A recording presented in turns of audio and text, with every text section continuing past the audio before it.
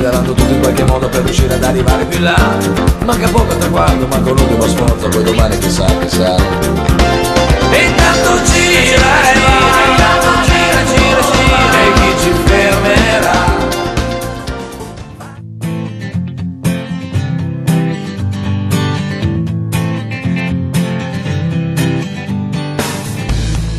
I premi sono tanti, Premiere è diventata quasi una moda. Spesso i premi sono meritati, a volte vengono assegnati semplicemente a fini pubblicitari.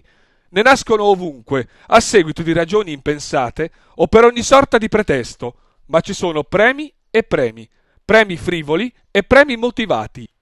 Il premio Bardelli lo riceve chi da sempre combatte violenza e marcio nello sport. È figlio della provincia, ma si assegna in città. La città in questione è Pistoia e la simbologia che lo contraddistingue è caratterizzata da elementi che hanno da sempre costituito il patrimonio storico, artigianale e gastronomico di un territorio conosciuto per le piante e vivai, i confetti, che qui si chiamano brignoccolosi, la lavorazione del rame, nel nostro caso ha come simbolo la mezzina toscana, e il fregio robbiano dell'ospedale del Ceppo. Pronti a fare un giro in giostra a ritmo di blues? Non è la prima volta che ci incontriamo, capita a distanza di pochissimi mesi. È con piacere che ritroviamo un premio importante, il premio Giampaolo Bardelli Omar Beltran per un libro, Il doping ecologico, i segreti per vincere con l'allenamento mentale. Un eh, metodo, lo possiamo definire benissimo così, un metodo che eh, praticamente eh, comporta una reazione che mette davanti ad ogni problema un'opportunità. Sì, fondamentalmente questo, cercare di allontanarsi da, dallo stress del, del, risultato che ti porta a scendere a compromessi. Se, se tutto lo, lo, portiamo al risultato, allora va bene qualsiasi mezzo. Invece il risultato è un premio ad un processo, un processo etico, un processo nel quale puoi sviluppare le tue capacità attraverso quello che sono le tue risorse. Omar, questo libro ha una prefazione, eh, l'ha scritta fra le tante che ha scritto in eh, vita un amico comune, Franco Ballerini. C'è una frase in, eh, in, questo libro che dice quello che stimola tutti i colleghi, tecnici e corridori è il continuo tenere acceso il numero della curiosità e la voglia di apprendere. Si parte proprio da quello, curiosità per riuscire a trovare un qualcosa di bello nel, nello sport. E in realtà cioè, essere qui a Pistoia e parlare di, di un amico come Franco è mi mette un po' di commozione, un po' di emozione.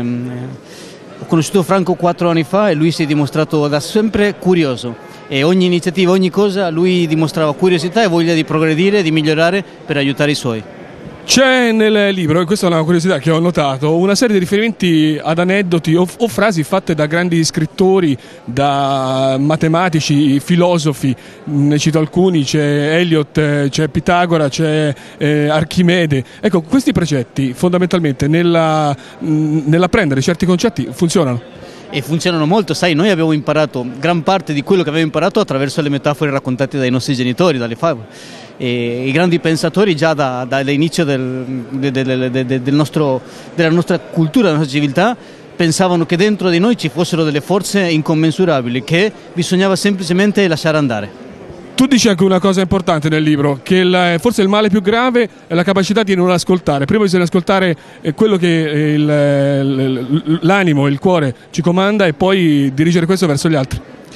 Purtroppo viviamo in una cultura nella quale impariamo tanto, impariamo tante cose, ma nessuno ci insegna mai ad ascoltare e di conseguenza non ci ascoltiamo.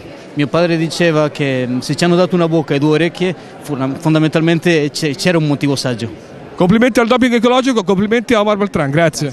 Marisa Grasso Raciti, una presenza importante con grande onore che onora soprattutto il premio Bardelli. Lei ha parlato in sala ed è stato uno dei momenti più emozionanti di questa avventura che si è appena conclusa di una bisogna fare prevenzione, cioè non si può più nemmeno sopportare cose come quella che è stato coinvolto suo marito e purtroppo ci ha lasciato della guerriglia urbana e non solo prevenzione, cioè le scene di violenza esistevano da prima, dal prima del 2 febbraio 2007 e purtroppo continuano ad esserci.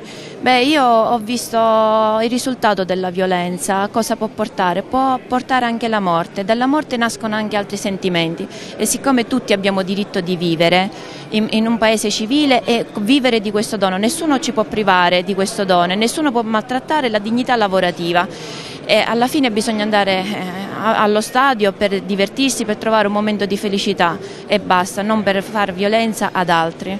nessuno può permettersi di eh, esprimersi con, atti, con, eh, con altri con atti di violenza e non si possono accettare, quindi prevenzione, azione e, e rieducazione perché oltre alla prevenzione e l'azione bisogna rieducare chi non è stato o non è capace di rispettare le regole e rispettare di conseguenza gli altri. Tra le sezioni del premio Giampaolo Bardelli ce n'è una riservata alle tesi di laurea. Quella di quest'anno premia una studentessa di Scienze Motorie, Facoltà di Torino, Giulia Caselli, per una tesi con eh, due parole che fanno paura, GH. Due lettere pericolose, GH, sì, eh, il GH è l'ormone della crescita, diciamo veniva usato perché io la tesi l'ho fatta nel 2002 e attualmente il GH non è quasi più usato, mh, vengono usati altri tipi di sostanze dopanti, però a quei tempi il professor Pasquale Bellotti con cui io ho discusso la tesi aveva fatto uno studio sul GH e quindi ne ho approfittato avendo lui come professore di, di, per discutere questa tesi. Come nasce questa idea? No, nasce proprio perché mm, il professore Pasquale Bellotti era a suo tempo eh, nella commissione scientifica antidoping del CONI e, e, e, quindi si occupava di tutto la, la, l'asso del, del, doping della, del, del, CONI. E, e quindi ho avuto questa occasione e ho approfittato. Oggi lo dicevi in sala, le due lettere in questione, il GH, sono due lettere che fanno paura in, ehm, in questo ambiente dello, sport che spesso purtroppo eh, ci sono più di un caso che ne hanno fatto uso. Sì, sicuramente sì, poi le sostanze dopante hanno degli effetti devastanti sul, eh, sugli atleti, sulle, sull'essere umano. E è questo che bisogna diffondere, cioè portare a conoscenza gli sportivi di quanto queste sostanze siano dannose. Ecco. Il bello Giulia forse è il tuo presente attuale che pochi giorni fa, il, ne parlavamo quest'oggi durante l'assegnazione del premio Bardelli, ti vede protagonista insieme a tanti bambini. Sì, eh, ho un'associazione di ginnastica artistica, fra l'altro lo spazio che abbiamo è uno spazio comunale, non ci basta più e quindi abbiamo anche il progetto di fare una cosa nostra, quindi di prendere uno spazio e di attrezzarlo proprio per la ginnastica artistica, che è uno sport diciamo tra virgolette minore. E beh, anche gli sport minori hanno giustamente bisogno di spazi, di poter, poter, svolgere delle attività che sono fondamentali anche dall'infanzia fino alla crescita e magari chissà da quella, da quella scuola, da quella palestra qualche campioncino. Speriamo, speriamo che nasca. Rossella Barni per un progetto con l'istituto comprensivo, il secondo istituto comprensivo di Monsummano, un progetto che è legato a questo premio Bardelli in questa edizione. Ieri sera c'è stata la serata bellissima al teatro Yves Montan, i bambini per lo sport per crescere insieme. Sì. Al nostro istituto comprensivo portiamo avanti un progetto dal titolo eh, Scuola e Sport insieme per crescere, che poi ha dato il titolo anche allo spettacolo di ieri al teatro a Monsummano. Noi con questo progetto intendiamo portare avanti quelli che sono gli ideali, secondo noi, principi cardine dello sport, ma soprattutto della vita, perché secondo noi lo sport è una disciplina trasversale che abbraccia tutta la vita dei nostri ragazzi, dall'italiano, perciò riflettere eh, sugli ideali dello sport, leggendo poesie, componendo temi e la musica.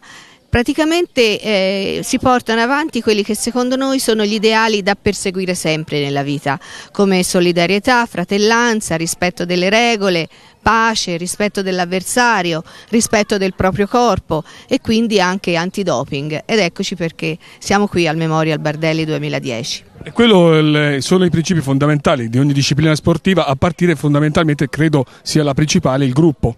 Sì, infatti, per noi il gruppo eh, dei pari è la, la, la medicina principale diciamo, per i nostri ragazzi, perché stando insieme sperimentano quelle che sono le relazioni che un domani serviranno a loro per vivere e convivere come cittadini italiani corretti. Un progetto che vede più di 100 ragazzi sullo stesso palcoscenico, quanto è difficile organizzarlo? È stato abbastanza difficile, dico la verità, perché 100 ragazzi su un palcoscenico in un teatro che non è della scuola ma è del comune e perciò abbiamo dovuto mettere insieme le esigenze della scuola, del Memorial Bardelli, dell'ente locale. Non è stata certo un'organizzazione facile, ma il risultato finale ci ha ripagato di tutti i problemi che abbiamo dovuto affrontare. Infatti mi, mi anticipa un po' la domanda, cosa ripaga un evento del genere? Guardi, secondo me questa è una delle soddisfazioni, è la soddisfazione professionale più grande. Io sono da 35 anni nella scuola, perciò ho sperimentato esperienze positive e negative. Questa credo che sia insuperabile, non potrò raggiungere un livello così alto mai più, credo. Ecco, una soddisfazione così grande è veramente troppo grande per me. In bocca al lupo per quello che arriverà. Grazie, chissà, vediamo. Grazie. L'occhio di riguardo del premio Bardelli è soprattutto verso i giovani. Ce n'è uno che sicuramente il pubblico degli sportivi del ciclismo conoscono per un caso che ha fatto parlare eh, di sé. Un eh, caso che purtroppo è un caso relativo al doping, un eh, personaggio che questa, questa vicenda ha colpito particolarmente, la vicenda di Eugenio Bani. Ben trovato. Anzitutto buonasera e volevo ringraziare il dottor Bardelli di avermi invitato, di avermi creduto, anche se in un primo momento mi andava contro, comunque è stata una grande persona a darmi fiducia e oggi essere qui. Essere qui per me è molto, è molto importante per far conoscere ancora una volta la mia storia che penso ormai sapete tutto che in breve ripeto sono stato trovato positivo nella sostanza che da solo non ho mai assunto. Le uniche iniezioni che ho fatto sono state dalla squadra e penso che il campo si restringa. Dopo aver fatto nomi, circostanze e cognomi, l'unico a pagare sono io. Mi trovo con due anni di squalifica e gli altri sono a piede libero. Non so se questo è il modo di levare il doping da giovani, non penso, perché un giovane da solo è difficile che assuma delle sostanze spontaneamente, sempre dietro qualcuno a comandarli ed è, qui, è, da qui che bisogna partire per levare il doping da giovani, da questi manipolatori che cercano di convincere i giovani in tutti i costi pur di, di vincere. Eugenio, questo discorso appunto le, è un discorso che ha preso in esame la magistratura, non posso sapere qual è la tua colpevolezza, quello che accadrà perché c'è un'indagine in corso e quindi è tutto in mano ai magistrati. C'è fondamentalmente un fatto che i 21 mesi che ci sono stati dati di punizione al momento nessuno si è, de, de, quanto riguarda una punizione verso la squadra, se mai ci sarà qualcosa, non è stata ancora fatta. Sì, sicuramente ora la squalifica me la ritrovo io. Come ripeto ancora una volta, dopo aver collaborato, da cui mi è stato riconosciuto anche la fattiva collaborazione del TNA, non c'è stato ancora preso nessun provvedimento disciplinare riguardo alla squadra. Non so se io spero che verranno attuati e conclusi questi accertamenti e vedremo cosa fare. Non so, io non posso sapere niente, vedremo le indagini. Ecco, però adesso ti faccio anche l'avvocato del diavolo. In un caso come il tuo, il, è, è, un caso particolare, però eh, tu con eh, i tuoi genitori sicuramente avrai un, un, colloquio tra genitori e figlio. Sì, sicuramente i miei genitori mi hanno assistito in tutto e per tutto perché a me credono, perché penso che io sono in buona fede, vado attestato, non ho niente da dimostrare.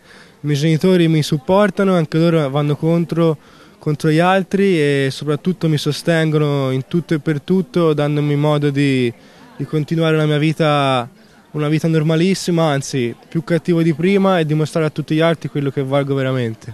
No, ma dicevo, relativo a proprio a quel caso lì, in, eh, il colloquio che tu hai fatto con genitori, nel momento che eh, questa pratica, che magari definiamola pure così, questa pratica è, sta- è stata fatta, tu parlandone con i tuoi quella sera, se stato fatto, tu dici che la sostanza appunto si, si eh, assume soltanto tramite iniezione, al momento vengono fatte delle iniezioni, tuo padre non è stato contrario?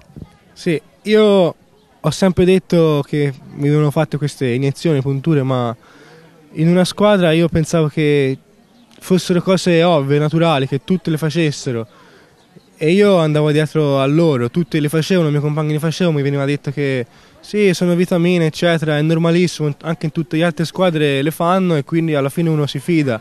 Scusa, ma oggi di, di marcio in questo sport, nel nostro, ma poi in tanti altri, lo sappiamo che esiste.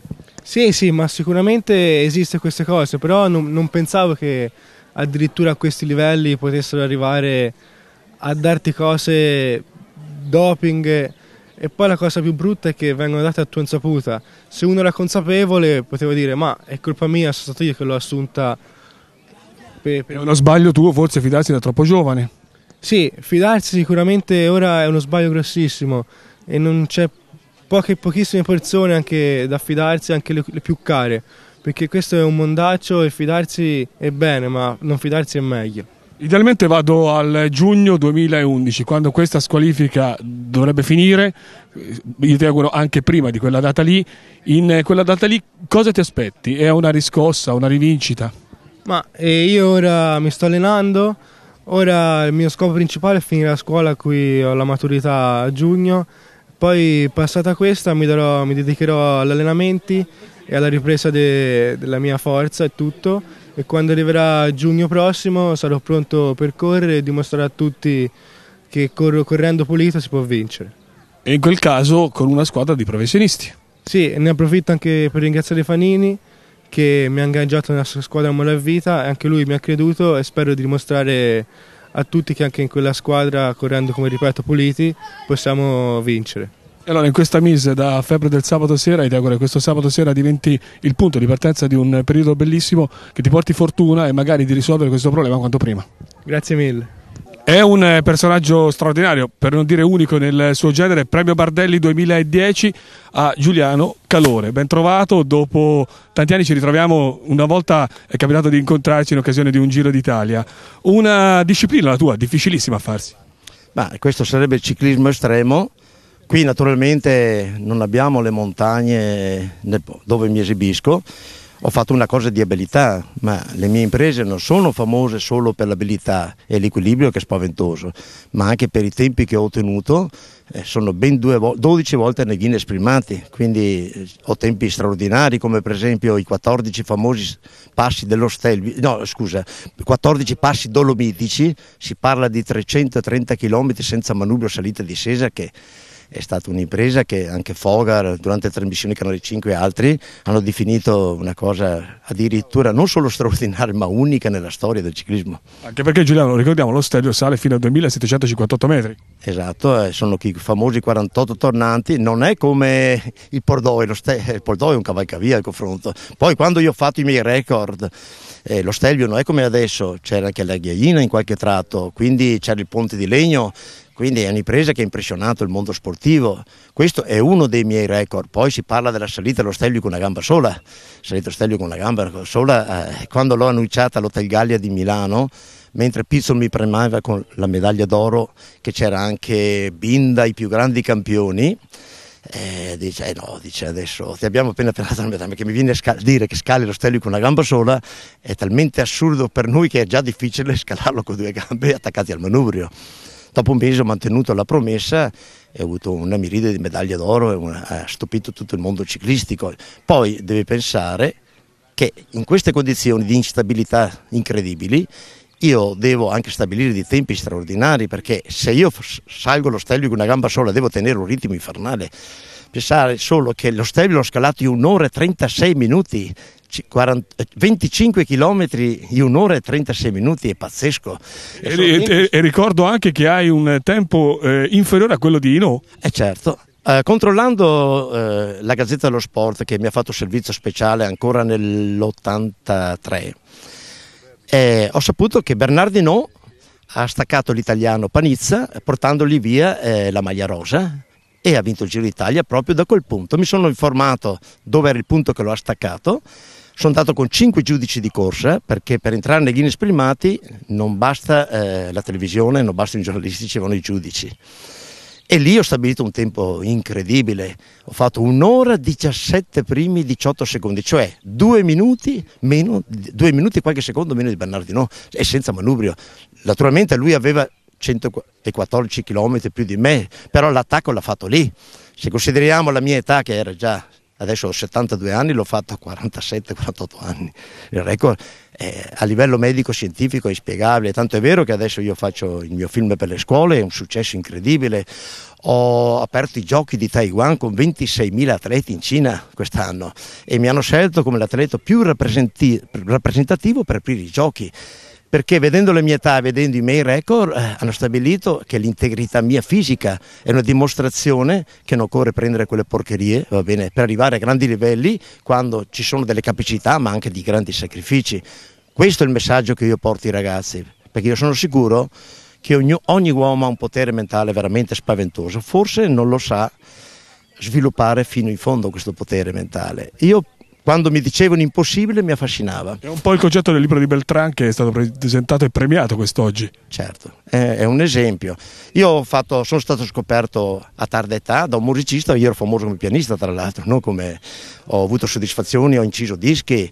Ho fatto Con Patti Bravo, giusto? Certo, abbiamo lanciato noi la Patti Bravo, era la cantante, era l'amorosa del nostro cantante, Gildo Fattori Strange, ma noi avevamo orchestre famose.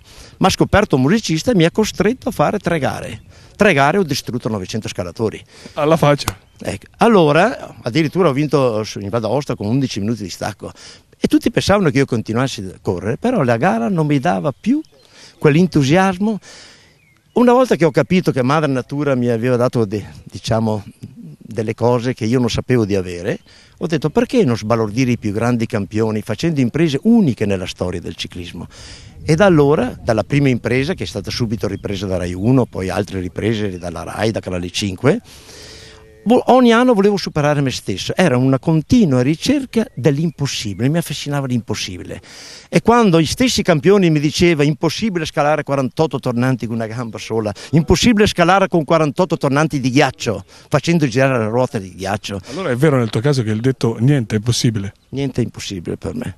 Eh, e io quando faccio il mio film per le scuole faccio poi l'esibizione, faccio vedere le mie capacità e i ragazzi credono non più alle parole, anche a qualche medico non credono più che purtroppo sono quelli che sono i primi, levando naturalmente i medici onesti, ma ce ne sono anche di disonesti che rovinano ragazzi da 15 anni. E questo è dove io mi batto. Per quello mi hanno chiamato a Taiwan, per quello adesso agli Stati Uniti, in America addirittura richiedono i miei servizi per portare questo messaggio meraviglioso di antidoppi per i giovani. E il prossimo record?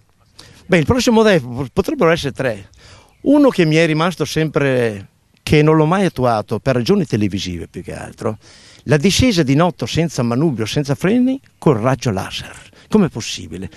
Se le cose possibili. Io ho già fatto questo in prova e ho superato i più grandi tornanti e ho avuto una caduta perché ho preso un sassolino dopo aver fatto già i più pericolosi 25 tornanti, quindi io l'impresa ce l'ho in pugno. Come si fa? Se lei mette il raggio laser non vedi due lati, impossibile. E allora come si fa? Metto il raggio laser alla destra dove c'è il parapetto, eh, dopo c'è il, il burone, no? Ecco. Distingo la distanza che intercorre tra me e il muretto di protezione prima dell'abisso. E in base a questa distanza io riesco a scendere dai 48 tornanti senza manubrio, senza freni. È un'impresa che io ho già realizzato, dovrei renderla ufficiale. Dopo i 12 tornanti, eh, quando una cosa l'ho realizzata mi resta sullo stomaco solo che è molto pericolosa e, e, e, non può essere ripresa la televisione altrimenti mi fa chiaro. Quindi saranno i giornalisti. E questo mi ha lasciato un po' lì. Io intanto do un consiglio a quelli che ci stanno seguendo da casa non provateci. Non provateci perché non so come andrà a finire. Grazie a Giuliano non Calore. provate le discese diciamo. Provate il resto. Grazie a Giuliano Calore. Premio Bardelli edizione numero 26 Memorial Giampaolo Bardelli non eh, possiamo non incontrare quello che è il patrono, l'ideatore e il eh, promotore di questo premio. Renzo, ci eravamo lasciati esattamente un anno fa con eh, l'ultima frase del libro Generazione Epo, in cui ci si auspica un ciclismo che possa viaggiare finalmente su delle strade oneste e leali. Quella strada è una strada da come ci siamo lasciati un anno fa eh, percorribile, lo dimostra un premio che ogni anno eh, viene consegnato a persone che lottano per questo. Sì, strada percorribile, sì, percorribile a fatica. Mm. Questo memoria di quest'anno ha dimostrato che indubbiamente cresce la consapevolezza che così non si può andare avanti, cresce la voglia di dare una svolta, cresce la qualità delle persone che si stanno impegnando e anche il nuovo fronte che il Memoria l'ha aperto, cioè di abbinare la lotta al doping con il discorso della testa del tifoso, quindi con l'appoggio dell'iniziativa del ministro Maroni di provvedimenti anche duri verso coloro che fanno violenza negli stadi e fuori dagli stadi e deturpano poi l'evento calcistico, ecco, dimostra che siamo su una fase nuova, eh, sullo sfondo del quale e comunque nel quale eh, si agita ancora troppa gente che hanno fini che non sono accettabili e che hanno metodi che sono chiaramente non condivisibili e violenti.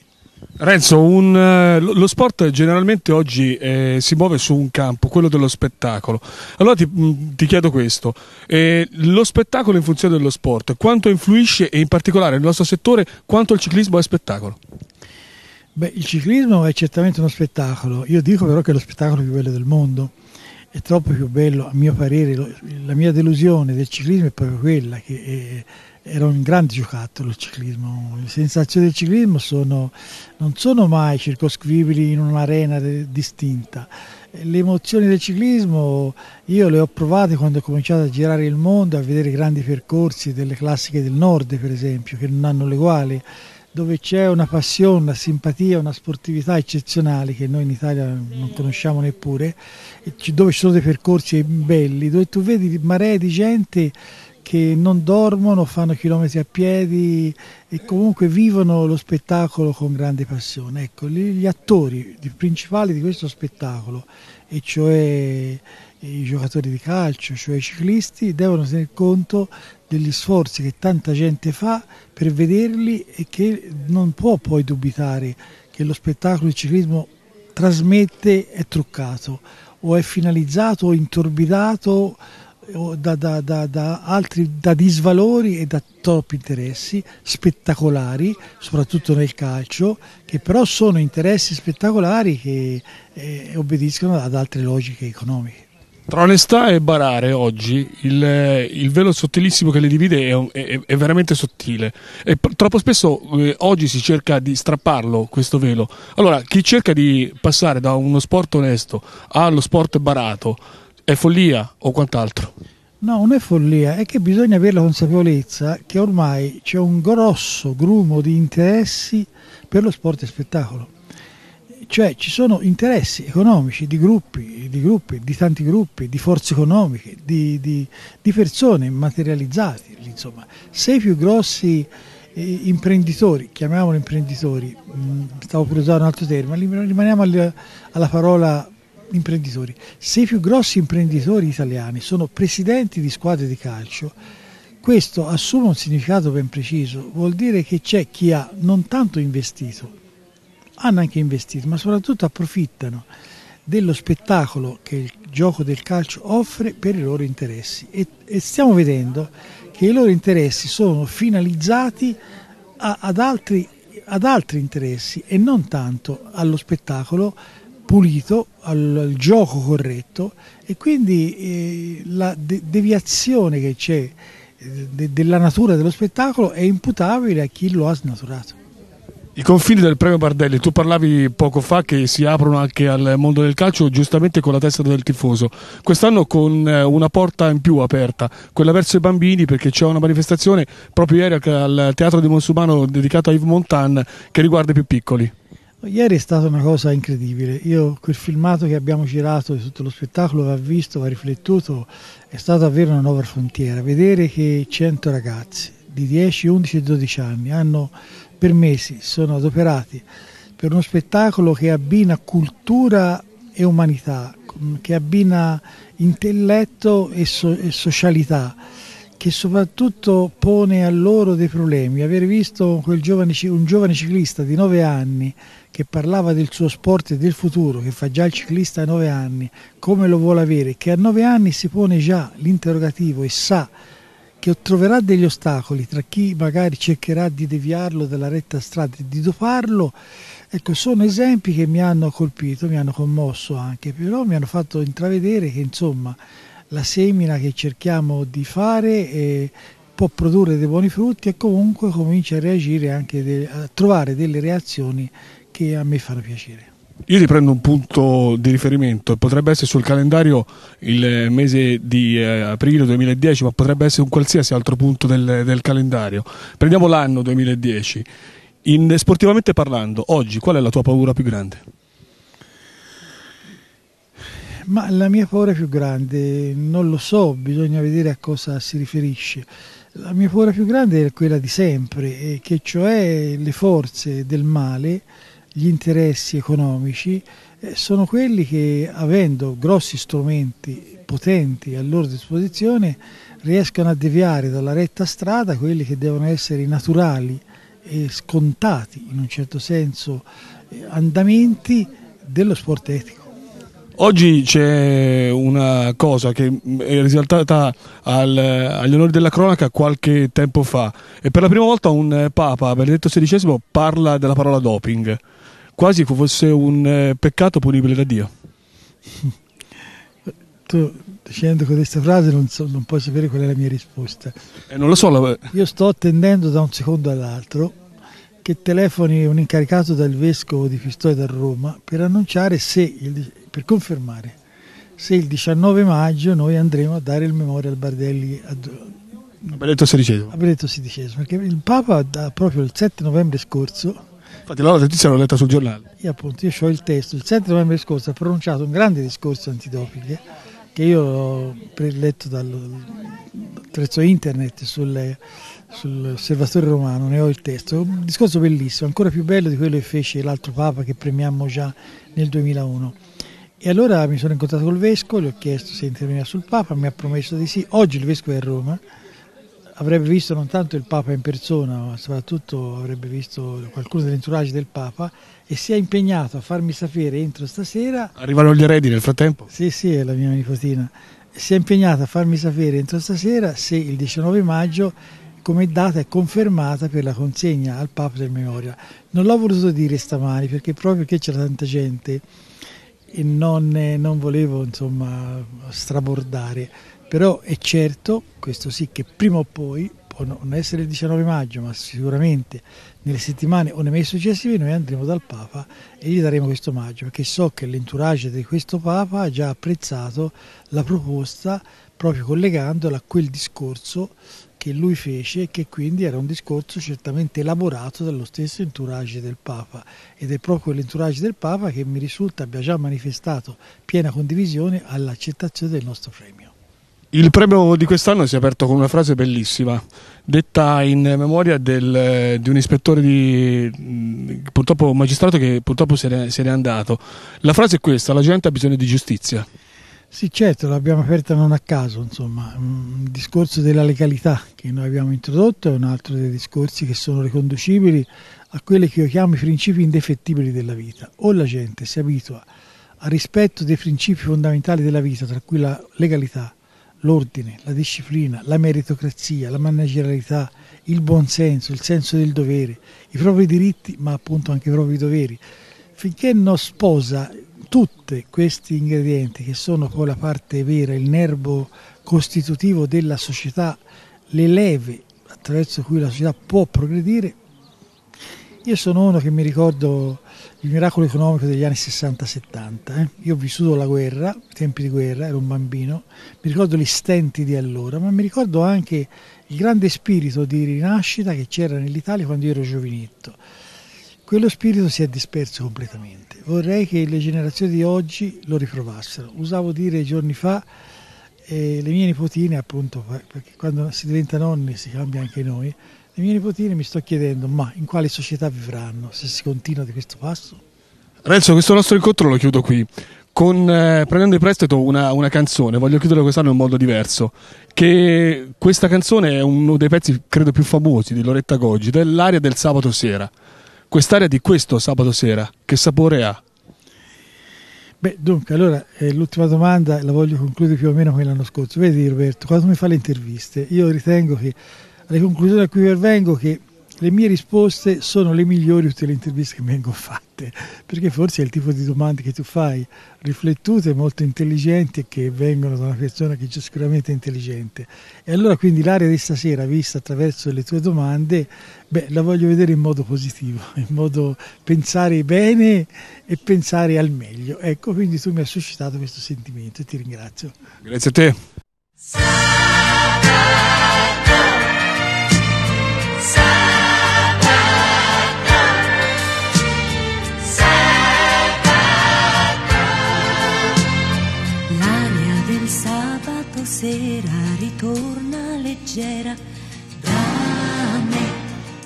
Sabato sera dovrebbe essere una sera come tante altre. La stessa sera che finita un'intervista torni a casa in macchina e inizi a pensare al prossimo viaggio. Spesso è così. Stasera qualcosa di diverso gira nell'aria. Di parole ne ho ascoltate tante. La speranza è che non siano parole nel vento, buoni propositi sulle labbra, concretezze vaganti disperse in qualche galassia. Poi invece inizia il tempo della riflessione e mi rendo conto che viviamo e conviviamo in stato di guerra. Non ci sono armi, anche se certi tipi di inganno a volte sono più devastanti e fanno più male di fucili e pistole, ma lealtà e onestà cercano spazio fra gli uomini e continuano quella battaglia intrapresa da tempo per cacciare fuori dal tempio truffaldini e mercanti di menzogne. Così li ha chiamati Alfredo Martini nel giorno più triste, quello dell'addio. E con loro tutto un movimento di ipocriti che cercano di farla franca per ragioni d'orgoglio e di successo. Via, andatevene via, fuori da qui, non è sport questo, è solo uno schifo. Il sole filtra attraverso gli alberi di una foresta buia e quel raggio che irradia la superficie di muschio che ricopre il terreno è il segnale della rinascita. Riprendo la strada di casa, riprendiamo strade familiari, ripensando alle parole di Marisa Grasso Raciti, una donna, una giovane signora in cui tutti ci siamo rispecchiati tre anni fa, quando questo marcio, chi vuole può chiamarla follia, in una circostanza assurda, l'ha privata dell'affetto più caro.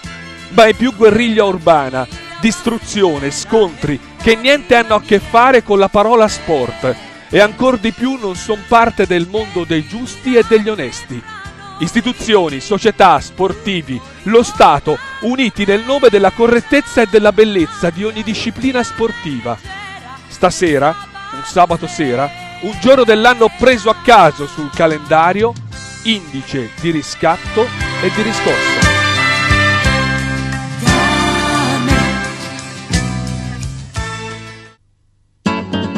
Rox.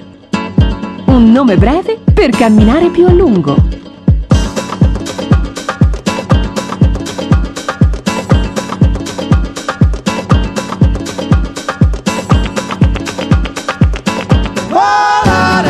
Un nome breve per volare sempre più in alto.